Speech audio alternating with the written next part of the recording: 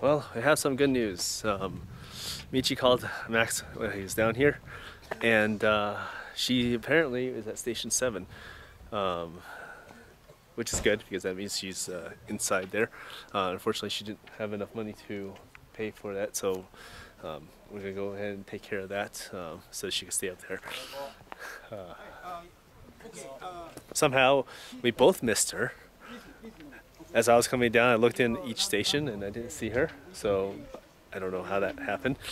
Uh, and when Max came down, he just ran down. So um, so he didn't even get a chance to look inside the station. See, he thought she was already down or something. Oh, interesting Mount Fuji experience.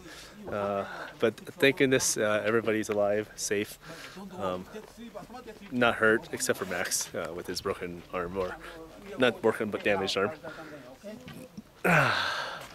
So tonight we stay uh, in the car, and then uh, she'll be coming down in the morning, and then we'll head back to Tokyo.